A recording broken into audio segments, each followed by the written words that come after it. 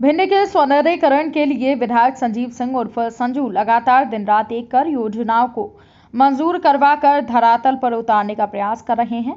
एक और भिंड शहर के लिए सीवर और नल जल योजना के तहत तेज़ी से कार्य चल रहा है तो वहीं सड़कों का जाल भी बिछाया जा रहा है।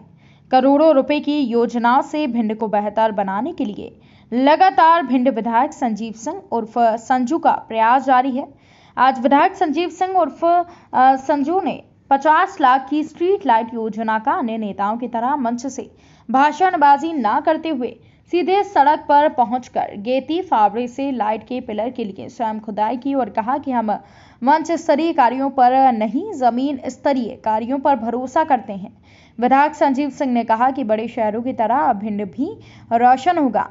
इंदिरा गांधी चौराहे से लेकर सत्तर बटालियन की और स्ट्रीट लाइटों से शहर जगमग होगा। मुख्य मार्गों के अलावा शहर के अन्य मार्गों पर भी प्रकाश के लिए विद्युतीकरण का कार्य चल रहा है।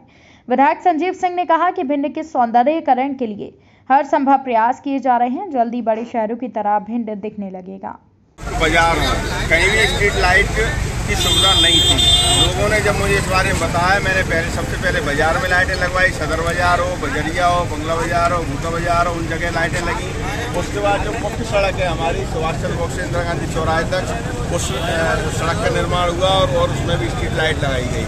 उसके बाद जो हमारा जहाँ से शहर शुरू होता है चाहे वो इटावा रोड की तरफ़ ले लो, चाहे ग्वालियर रोड की तरफ़ ले लो, इधर भी लाइट की व्यवस्था नहीं थी तो उसका भी एक टेंडर कराकर इन दोनों रोडों पे जहाँ से डिवाइडर चालू होता है, जहाँ से हमारा शहर प्रारंभ होता है, वहाँ तक, उस सीमा तक स्ट्रीट लाइटें लगाई जा रही हैं। बहुत जल्दी ये काम पूरा हो जाएगा और भिंड में भी शहर जैसी झलक दिखाई देने लगी